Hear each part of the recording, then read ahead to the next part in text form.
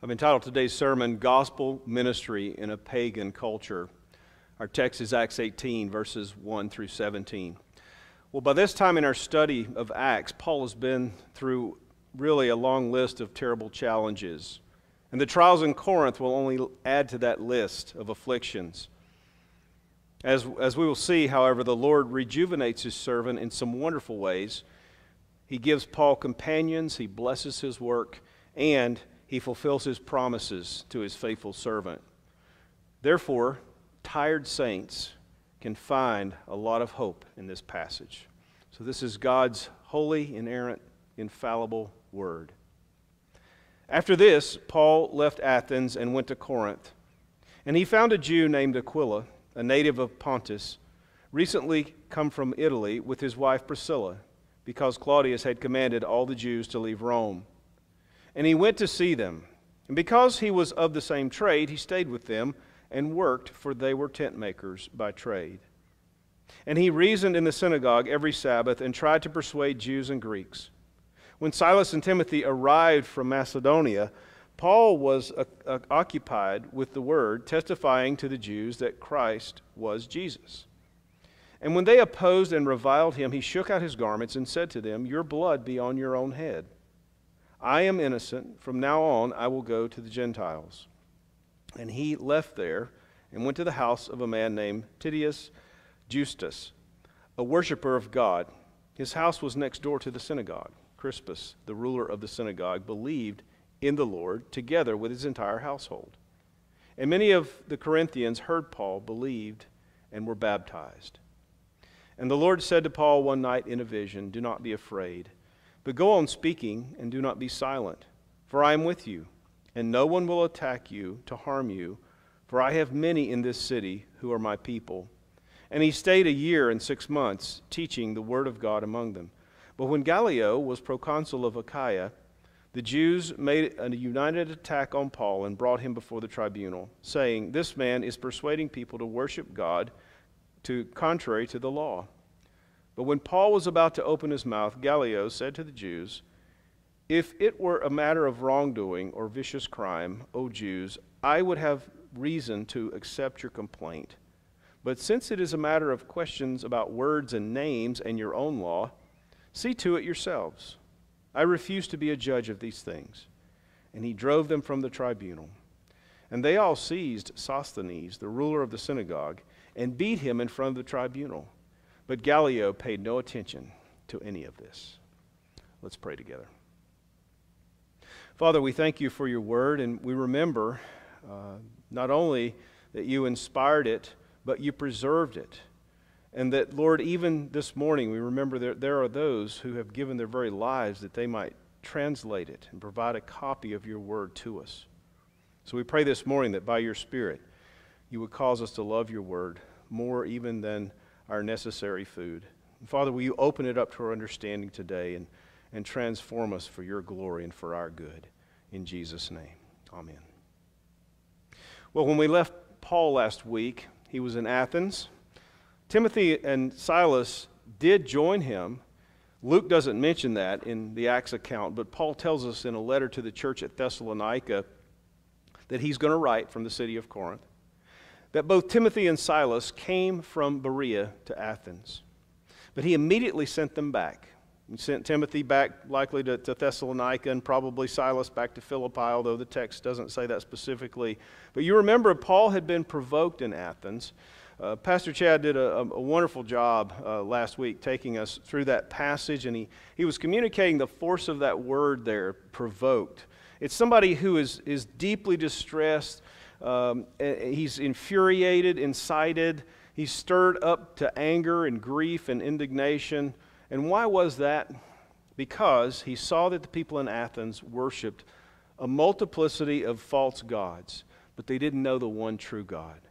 So Paul began in the Agora, that's the marketplace, and later at the Areopagus to debate and engage the Athenians concerning the one true God.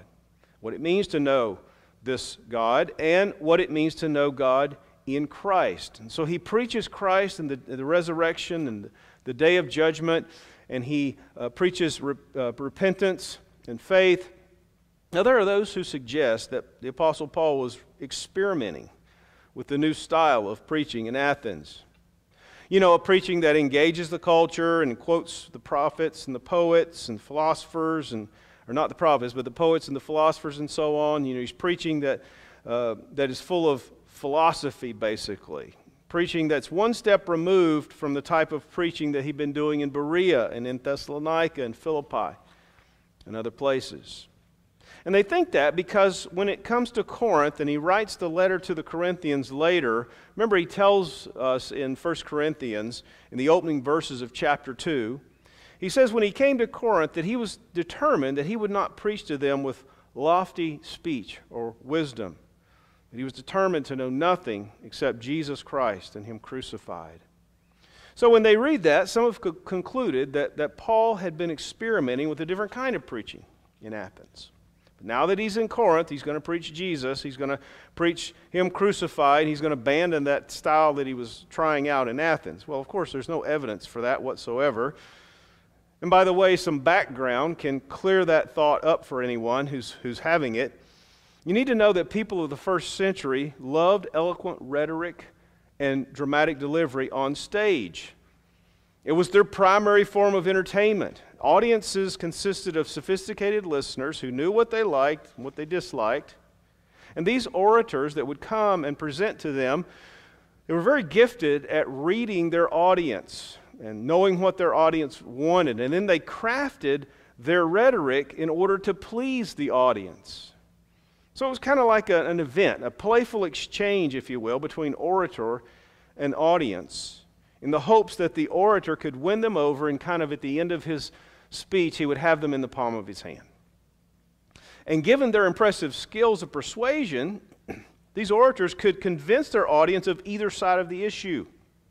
In fact, the greater the orator, the greater was his ability to take the weaker case and still win over his audience. Well, Paul, when he comes to Corinth, he says, I'm not coming here that way. I'm having none of that. So there's the background. Paul's not experimenting with a new style of preaching. Uh, and, and, now he's just somehow recommitted himself to going back to Jesus and him crucified when he comes to Corinth. No, in Athens, Paul was boldly proclaiming Christ, the life, death, and resurrection, as he quotes Aratus and these others, as he engages and he dialogues and debates in Athens. He says to them in chapter 17, verse 30, The times of ignorance God overlooked but now he commands all people everywhere to repent, because he's fixed a day on which he will judge the world in righteousness by a man whom he has appointed. And of this he has given assurance to all by raising him from the dead. You know, you can't preach resurrection unless if somebody's dead.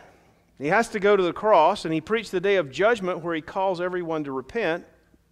Sounds pretty much to me like that that's the gospel that Paul was preaching everywhere. There, but there's no doubt when he comes to Corinth, he has a renewed zeal, uh, a renewed conviction about the gospel. And we read in the opening verse of chapter 18, after this, sometime later, he heads to Corinth. In Athens, he's been in this capital of learning, a cultural center, at least of the former world. Maybe by the first century, it wasn't quite as it had been in the second and third or fourth century BC, but Athens was still a place of great culture. So if you, if you wanted to go to culture, you go to Athens, but by comparison, Corinth was, was considered base. You know, Corinth was a city of licentiousness. There, there was a Greek verb, literally, that would translate to Corinthianize. It was a euphemism for fornication. And to Corinthianize was a well known term for at least 400 years. So Corinth had this reputation as a very sexually immoral, immoral place. And 2,000 feet above the city of Corinth, uh, on a place known as the Acropolis, there, there was a, a temple to Aphrodite the false goddess of love, beauty, and passion and procreation. So they had a strong influence of sexual immorality in Corinth. Corinth was also a large city in Paul's day. Some say it numbered nearly 750,000 people. Some say less, but there's a large number of people there in that part of the world. And the Isthmian Games took place near Corinth about every two years. These games were second only to the Olympic Games. And these games, at, at these games, they would run races, throw the javelin, discus, all these events, boxing, wrestling, and they would do all these events in the nude. Now, the Romans frowned on that, but the Greeks did that kind of thing. And it was a big deal for these games to be held nearby. Isn't it interesting that when Paul writes his first epistle to the Corinthians, you remember in the ninth chapter, he uses these images, these metaphors from the games. He says things like, Don't you know that in a race, all compete, but only one wins the race? He says, I, I box as beating the air. He says, I discipline my body. So he's alluding to these games that the Corinthians knew all too well. Now, Paul may have made his journey by sea, landing at the port of Cenchrea to east, to east of Corinth. He may have come down through the isthmus, that's that natural land bridge there in that part of the world, some 50 or 60 miles or so to the city of Corinth. There was also another port on the western side of Corinth, ports that would lead to the Mediterranean Sea and the coast of northern Africa and beyond. This area was a marvelously geographically strategic place. It was, it was a city that was second only to Ephesus, but it was also a strategic city uh, from a gospel point of view. And interestingly, Paul stays a long time in Corinth. It was, ne- it was necessary to have in Corinth a strong church, perhaps it was, necess- it was as necessary as in Ephesus to have a, a strong church because of where it was located. Because from Corinth, Christians could go to all parts of the world. They could, they could sell off to northern Africa, and many probably did. And, and some could go north and be God's ambassadors and, and missionaries. So, with that introduction and background in mind, I want us to consider just three points from our text this morning. That is Paul's decision to spread the gospel to the Gentiles. Secondly, God's encouragement to Paul. And thirdly, God's promise of comfort to all his people in times of trial. So, first of all, then, Paul's decision to spread the gospel to the Gentiles. We read in verse 6 this enormously important thing that Paul does in the synagogue and with the Jews. Eh, we read that, and when they opposed and reviled him, he shook out his garments and said to them, Your blood be on your own heads. I am innocent. From now on, I will go to the Gentiles. Now, according to F.F. F. Bruce, when Paul traveled to Corinth, he was in this mood of, of great dejection. And Bruce is picking up on what Paul himself said when he writes to the Corinthians that when he came to Corinth, he said he was there in fear and in much trembling and weakness. So, was it Athens that had him depressed? Was it um, the reputation of Corinth that perhaps concerned him, this city where sex and sport rather than poetry and philosophy were the gods of the day? So, so what does he do when he arrives? He goes straight to the synagogue and he begins to reason with the Jews and the Greeks. Also, as in Thessalonica, he's doing bivocational ministry. He engages in tent making and he discovers this couple, Aquila and Priscilla. We're going to come across them again next Sunday. Uh, sometimes it's Priscilla and Aquila, and uh, here on this instance, it's Aquila and Priscilla. They've come from Italy. And as Jews, they've been banished from the city of Rome by Claudius, but probably already Christian Jews. Perhaps the gospel's already come to Rome, to Rome, and already there are some who've professed faith in Jesus. And Aquila and Priscilla are now back in Corinth, and they're tent makers. And Paul joins them. He probably lives in their home and earns a living there by staying with them and working as in order that he might survive. Eventually, Timothy and Silas arrive from Macedonia and they come with the news to the apostle about the church there in Thessalonica and also in Philippi. You can read 1 Thessalonians, which is a, marvelously encouraging letter, because that letter is being written right now here in Corinth. It's the first of Paul's many letters to be written, followed uh, probably just a few months later by 2 Thessalonians. But Paul gives an extensive summary of his time in Thessalonica, and he gives thanks to God because of their work produced by faith and their labor prompted by love and their endurance inspired by hope. And he's, he's encouraged by the news that Timothy brings him concerning the work of Holy Spirit in Thessalonica. So the church is alive and growing. It is engaging in the fruits of the Spirit. This is a matter of enormous encouragement to the Apostle Paul. You remember that in 1 Thessalonians, it's a letter with the, that beautiful passage where Paul says, I don't want you to be ignorant about those who have fallen asleep. And he addresses the issue of, well, what happens when you die? That Christians don't grieve like the rest who have no hope, but that through the gospel and forgiveness of sins and the hope of glory, it means that we have this assurance that when we die, our souls go immediately into the presence of Christ. And you also remember how Paul begins to speak about the second coming in First, in First Thessalonians. That Jesus will come again upon the clouds of heaven with the trumpet of God and the archangel, and the dead in Christ shall rise. And those who are alive will be caught up in the air to meet with the Lord, and they'll always be with the Lord.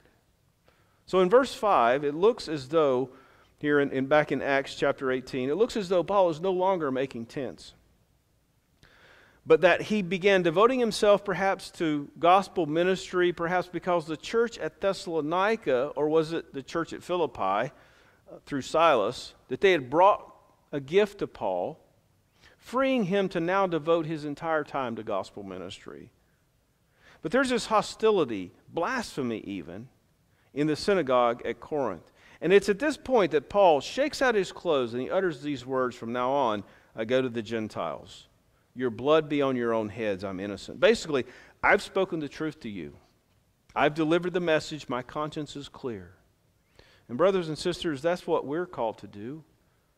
Of course, we are to speak the gospel with love and, and humility. We're to speak it as one needy beggar, telling other beggars where they may find the bread of life. But, but we can't save anyone. We're simply messengers. So we simply deliver the message and we counsel people in the gospel and in the scriptures, and then we pray. It's totally up to God. And then you have to smile when you read verse 7. How far does Paul move away from the synagogue when he shakes off his clothes at these Jews and who are rejecting the gospel and are rejecting Christ and, and saying no to the offer of mercy and forgiveness of sins? How far does Paul go? Well, he goes right next door to this man, Titius Justus. And we don't know uh, whether Paul stayed there or if he, if he stayed with Aquila and Priscilla. But he's there every day, and these Jews who were so hostile would see him. Perhaps they would even hear him. I wonder if he stood in the doorway there proclaiming the gospel so that they could still hear him in the room next door in the synagogue. And then, lo and behold, in verse 8, this man Crispus, the synagogue ruler, the one who would be in charge of the synagogue services, the most respected Jew in Corinth, no doubt, well, he is converted. So to Paul, who may have been feeling dejected at this point, but certainly to a man by his own, who by his own admission comes to Corinth with, in fear and trembling and much weakness, he's in need of the Lord's help and, and encouragement and benediction. What better help and encouragement could there be than, see, than the sight of a sinner coming to Christ and confessing Jesus? And what better therapy for the Apostle Paul uh, and his dejected spirit that the ruler of the synagogue professes faith in Christ. But there are others, because we read in verse 8 that many of the Corinthians, when they heard, they were believing, they were being baptized. so again, we see this extraordinary movement of Holy Spirit as God comes down, and there's this definitive, powerful work now beginning to emerge in the city of Corinth. But there's a division, a division between Jews and Gentiles. It's a turning point. Paul's now heading in the direction of Gentile ministry. And I think it's deeply significant that it's from Corinth later, when Paul returns to Corinth on his third missionary journey, that he probably writes his letter to the church at Rome. And you remember that it's in that letter of in the city of Corinth, you remember that he reflects there as he's writing to the, to the Romans in Romans 9, 10, and 11. He reflects on the relationship between the Jews and the Gentiles and the relationship between the church and Israel, and he asked us great and profound questions as to what that division means.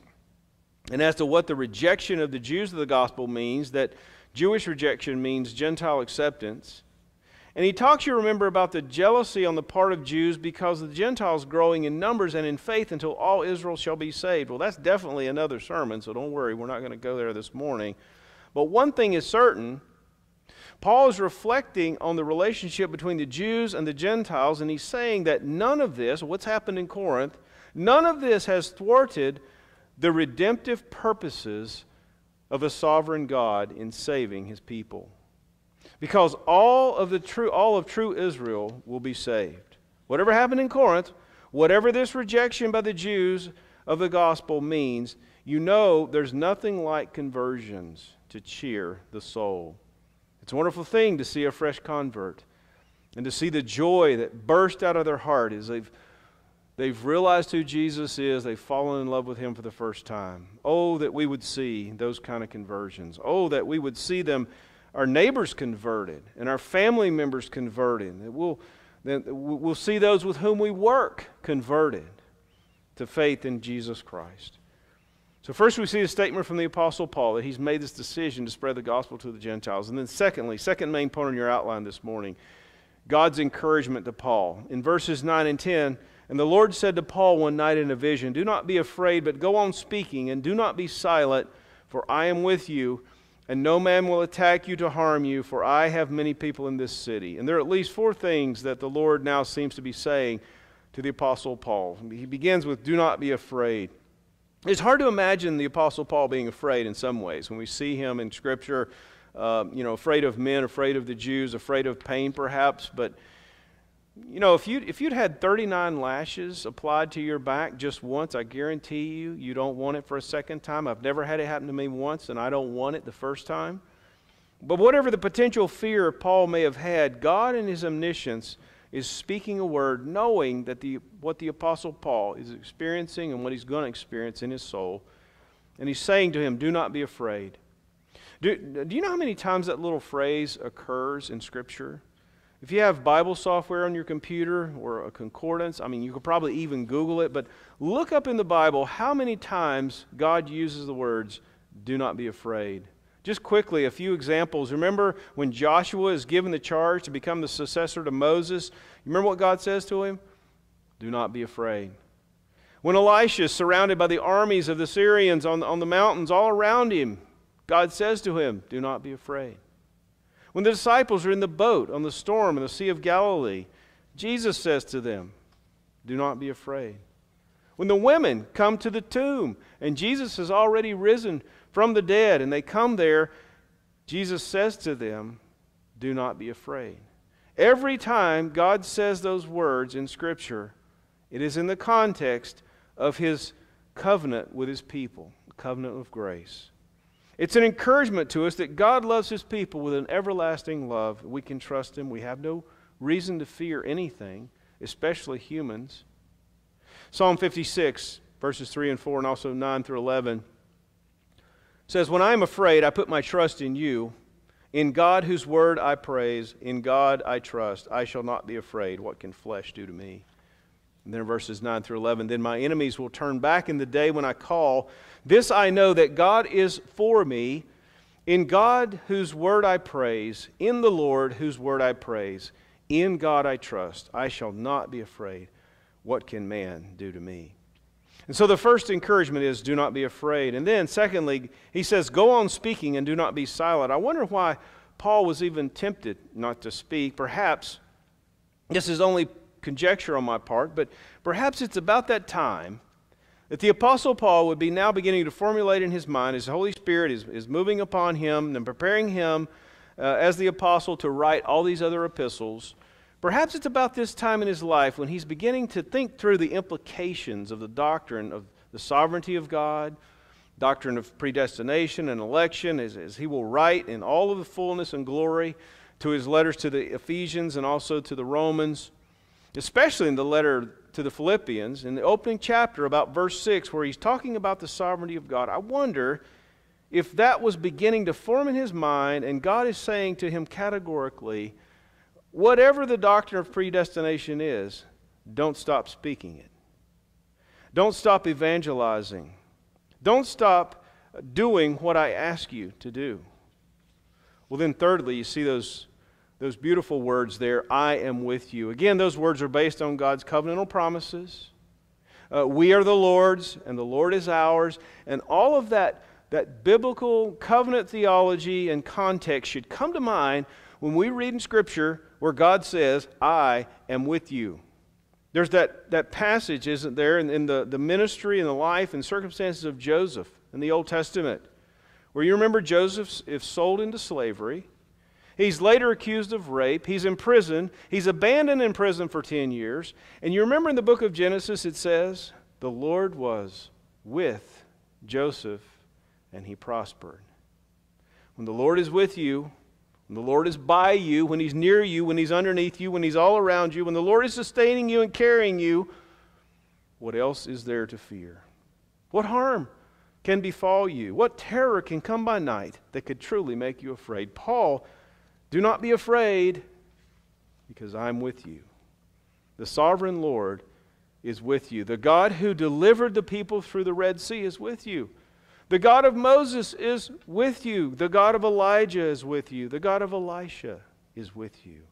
The God of the prophets is with you. He says, And I have many people in this city. What an incentive that must have been as Paul stays on another 18 months in the city. That God has his people in the city, maybe people who have yet to be converted, but they are the Lord's and they will be converted in the near future. They're his elect. And and through Paul's ministry and the, the preaching of the gospel and the work of evangelism, God's going to draw these people to himself.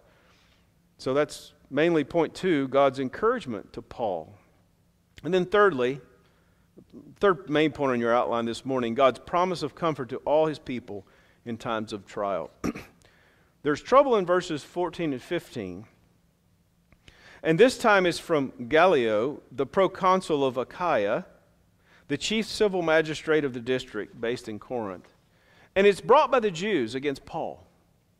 And he's brought to what in the Greek is, is called the, the Bema. It's a, it's a raised platform known as the judgment seat. And Paul is put there to stand before Gallio to answer the charges that the Jews are making against him, which were this man persuades men to worship God contrary to the law. And whatever the sense of that, Gallio interpreted that what Paul was saying was something that belonged essentially to Judaism. And as far as Gallio seemed to be concerned, what Paul is saying about words and names about which he had, had no interest, so this was an internal matter to be settled by the Jews. And then in verse 17 it says, They all began to, ta- to attack Sosthenes. Who are they all? Who, who, who is that? Are they Gentiles who are now attacking Sosthenes as the leader of the synagogue, like Crispus was? Or, or was it the Jews themselves attacking their own leader because uh, he had made them look so stupid in the eyes of Gallio? In 1 Corinthians 1, the opening verse begins Paul, called by the will of God to be an apostle of Christ Jesus and our brother Sosthenes. Is that the same Sosthenes? He, he's writing to the Corinthians, and right up front there, he has a greeting not just from himself, but from Sosthenes, who at this point, in Acts 18, is still the leader of the synagogue, but now has perhaps been turned against by the Jews. I got no way of proving that, but I want to suggest to you this morning wouldn't it be an extraordinary thing? Wouldn't it be a wonderful thing? The kind of thing that God would do that not only did he convert Crispus, this synagogue leader, but when they elected Sosthenes as their replacement, God converted him as well. And thereby, an extraordinary work of God's grace is evident here in the city of Corinth. This would have been most encouraging to the Apostle Paul. Of course, it was primary, primarily to bring glory to God, but, but also the encouragement that must have been to Paul. It would have reaffirmed to him that he didn't have any need to be afraid because the sovereign God of heaven and earth, the God of mercy and grace, was with him. And, dear friends, you know, there are details here the, that belong entirely to this story, but there's a general principle here that applies to each of us because God speaks to all of his children and he says, You have no need to be afraid. He does not promise that no harm will come upon us, as he promised Paul here. And by the way, he promised Paul this one time in Corinth. God did not promise it, and it's not true of Paul in Lystra and in Derbe or Philippi or Thessalonica or Berea. It was only true here in Corinth, so we, we can't take that text and just run with it and say, okay, no harm will come to us. But you know, wherever you are, whatever circumstances you face, God says to us, I will never leave you or forsake you. I will be with you. You know, several of my um, historical heroes in the faith, I guess, they experienced serious bouts of discouragement, fear, depression. I mean, it's likely that, that Martin Luther did. Charles Spurgeon, certainly, it's, it's pretty well documented that he had a lifelong struggle with depression. If you've ever read anything about Spurgeon, you know a little bit about him. Uh, at age 22, he was a pastor of a large church. And with twin babies at home to look after, he was preaching to thousands of people in, the, in a music hall when pranksters yelled fire. And so they started a panic to exit the building. And in that panic, seven people were killed and 28 were severely injured. His mind was never the same after that. His, his wife, Susanna, wrote, My beloved's anguish was so deep and violent that reason seemed to totter in her throne, and we sometimes feared that he would never preach again.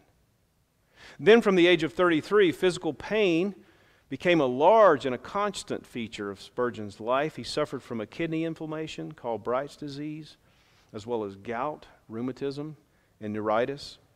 The pain was such that, that it kept him from preaching for one third of the time. Added to that, overwork, stress, and the guilt about all these things began to take their toll, and all this happened in the public eye. And of course, his critics just, just shredded him, which made it even more difficult to bear. Some of them even said cruelly that, well, his suffering was a judgment from God. Don't you just love Pharisees like that who say awful things? And the clinical depression hit Spurgeon so hard that he once said, I could say with Job, My soul chooseth strangling rather than life. I could readily enough have laid violent hands upon myself to escape from my misery of spirit. But in all this, Spurgeon believed that God had a good purpose in all his suffering, and because of it, felt that he had become better prepared and a more compassionate pastor. But boy, did he battle depression. And here's what he had to say on the reality of sorrow. Spurgeon said, I am the subject of depressions of spirit so fearful that I hope none of you ever get to such extremes of wretchedness as I go to. He also said, I wonder every day that there are not more suicides, considering the troubles in this life. He said, The road to sorrow has been well trodden. It is the regular sheep track to heaven, and all the flock of God have to pass along it. But then on the, on the other side, he said, he looks to God's promises of comfort and strength. He says, An ointment for every wound, and a cordial for every faintness, a remedy for every disease. Blessed is he who is skilled in heavenly pharmacy and knows how to lay hold of the healing virtues of, prom- of the promises of God. He says to be cast down is often the best thing that could happen to us. It is an unspeakable consolation that our Lord Jesus knows this experience. Boy, I, I just absolutely love that honesty. But then he clings to God's promises. What an encouragement to us. Because there are going to be times in your life and in my life, even as a Christian, when the darkness, when the trials and the struggle is going to seem more real to you in that moment than God does. But from Charles Spurgeon and from the Apostle Paul, we can learn the necessity of leaning hard on God's grace. That even in the valley, even when the waters come over your head, the Lord is with us and He'll never leave us or forsake us. In your sorrow and discouragement and times of depression, meditate on God's promises. Draw near to Jesus, the man of sorrows, and trust in God's providence. And what that means practically is in your sorrows, don't isolate yourself. Don't skip worship gatherings. When facing trials, you, you can't remove yourself from community. Instead, press on into God's Word. Listen to Scripture. Be around God's people and allow the Lord to rejuvenate you, even as He has rejuvenated His servant, the Apostle Paul. Father, we thank you for the extraordinary richness of your Word. Thank you for the Apostle Paul, for this great gift that you gave to the church. Thank you for other saints uh, in, that knew you and that really just were honest and transparent with all of us and yet pointed us back to Scripture. Men like, like Charles Spurgeon Thank you for these wonderful evidences of conversions here in Corinth. Lord, we pray for such conversions here in Merritt Island and Rockledge and Viera and Cocoa and Cocoa Beach and, and in Faith Presbyterian Church. We want to see those who've never been baptized before as believers come here and be baptized and, and claim the name of Christ and confess Him to be Savior and Lord, King of Kings, Lord of Lords. Father, you can do it because there's nothing too hard for you.